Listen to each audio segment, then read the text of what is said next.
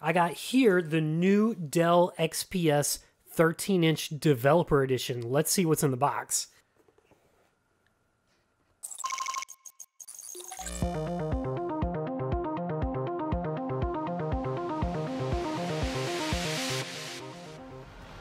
Welcome to my YouTube channel. If this is your first time here and you're looking to grow your IT skills and your IT career, you're in the right place. Just hit that little subscribe button and the bell so that you get notified when new releases come available. All right. Network automation is this newish and rapidly evolving thing. It's definitely a buzzword. We're seeing certifications pop up for it now. The Cisco DevNet, the JNCIA DevOps, and really, the entire industry is moving towards software defined networks. How that all works is there's a controller that controls all of the network devices and it communicates via APIs. So we can configure either the software defined network via API or through GUI, or we can configure our individual devices via an API too. And because of this growing rush and influx and popularity of network automation, uh, the influx of tools has been just as overwhelming and surprising and awesome at the same time. So, what I want to talk about today is some of my favorite tools that exist and help me as a net DevOps developer. First on the list, not too surprising, the one that we introed here is the Dell XPS Developer Edition. Okay, what makes it Developer Edition? This Dell XPS device is just like any other Dell XPS device, except it ships with Ubuntu Linux installed on it. And really, I think it's a Dell specific variant of Ubuntu Linux too, because it came with Dell Remote Assist, Dell Linux patching, and most importantly, everything just works. Come on, let me show you the specs. If I simply Google Dell XPS Developer Edition, you'll see that there are some links that come up for it, but I'm going to scroll down a little bit and you really want to make sure you click on the new XPS 13 Developer Edition. Why new? Because this guy right here comes with a 10th gen Intel i7. That is a 6 core i7. Now, of course, this thing is customizable.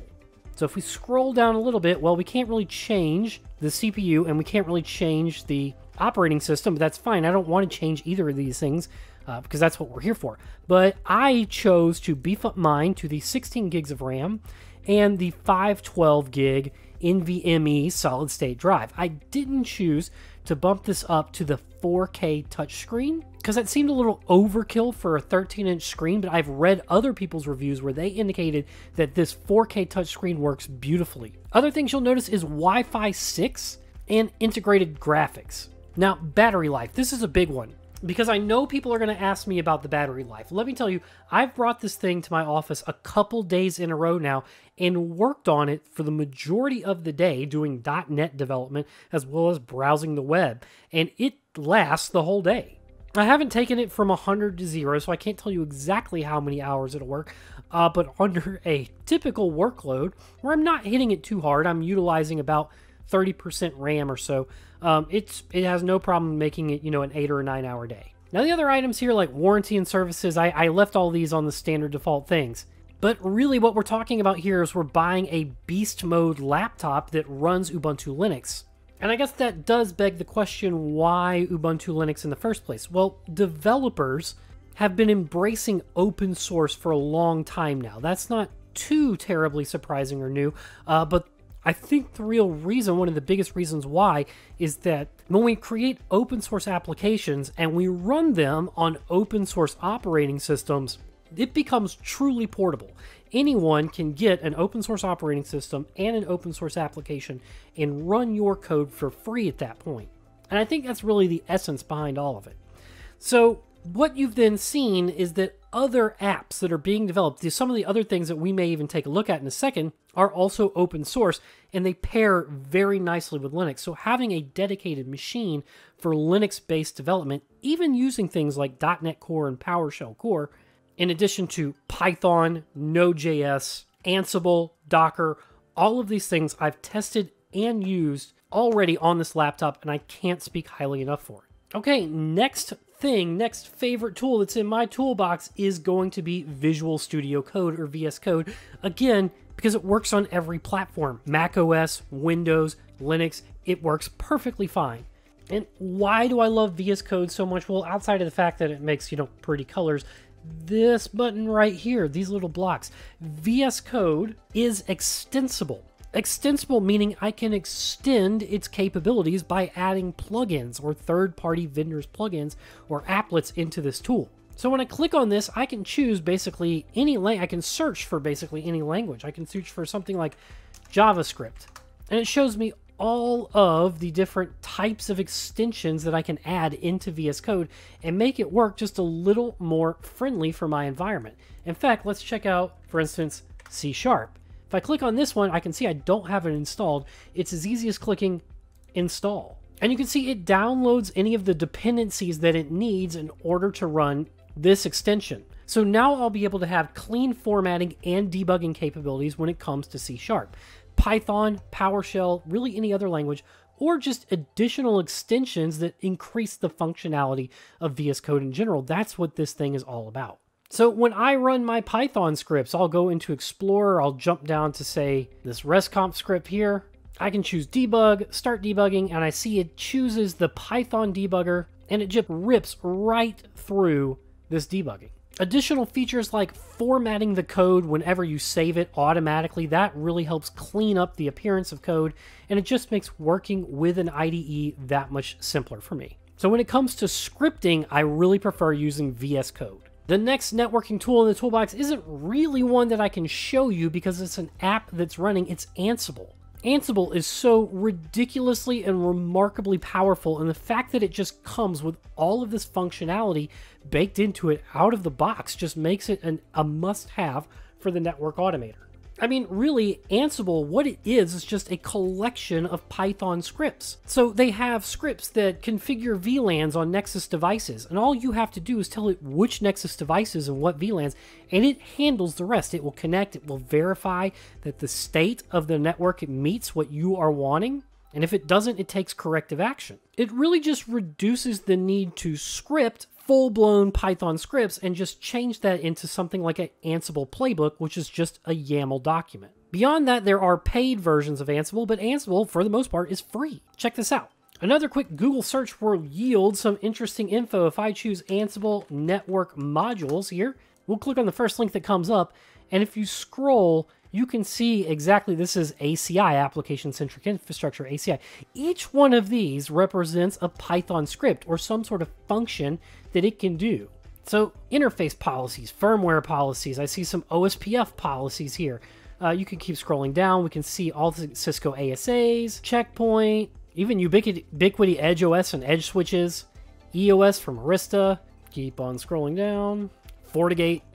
We've got old school legacy iOS devices as well as iOS XR devices, Juniper Junos devices, Meraki. And while the learning curve for Ansible is just a little bit different because you're learning a full blown application, once you've got your head wrapped around it, scripting out a little playbook, it makes a huge difference because now you can manage the entire network from one playbook or multiple playbooks and then check that into source control.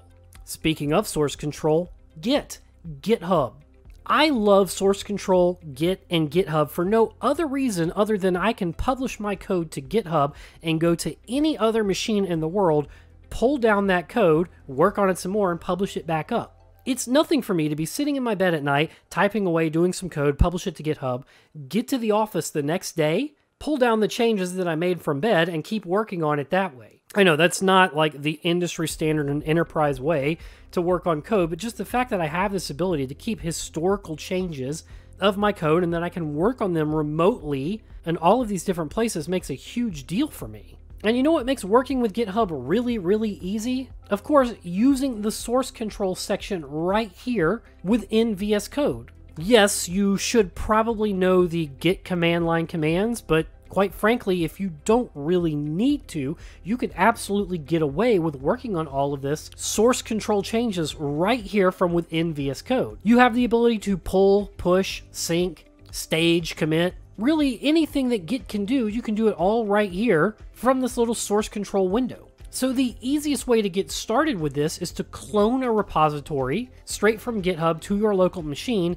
and then open that folder right here from within the folder explorer. Git will automatically run and check changes that you make locally on your machine and and offer you the ability to stage and commit your changes from within the source control menu. This is precisely how I work on all of my code that you've seen on YouTube as well as in the Cisco DevNet course. And my final tool that I absolutely can't live without, of course, is Postman. Postman is the tool that we use to test API connections, especially REST API connections. Postman was built in Python, by the way, and it is a remarkably powerful tool, and it makes testing and beginning coding against an API way simpler. Check it.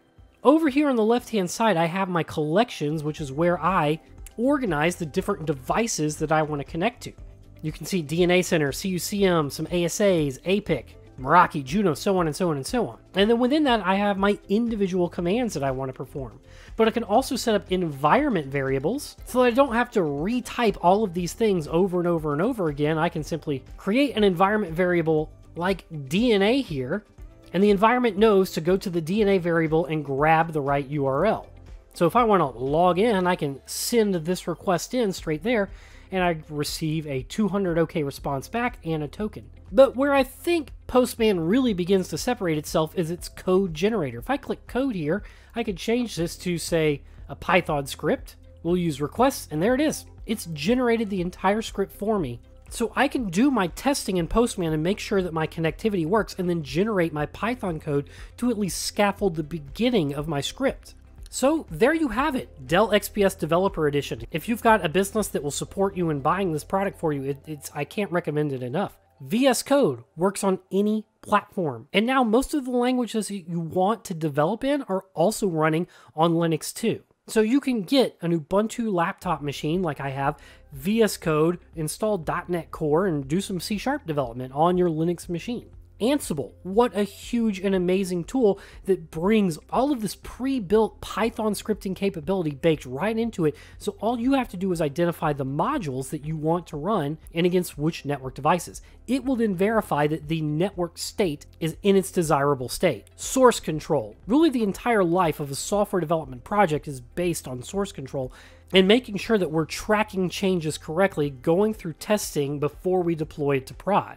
Git really is the tool for that, and GitHub is a central repository where we can push our remote changes to that. And lastly, Postman. One of the best tools that ever came around was a free tool that allows us to test APIs and generate code for us. Now, a lot of the things that I just outlined here Linux, VS Code setup, Ansible, Git, and Postman those things are all covered in depth on the Cisco DevNet course in CBT Nuggets. Whether it's Ben Finkel or myself teaching it, we've got you covered. So if you want to learn how to use these tools deep, check the link below for the Cisco DevNet course on CBT Nuggets. And if you're not subscribed right now, grab that free trial. Give it a shot.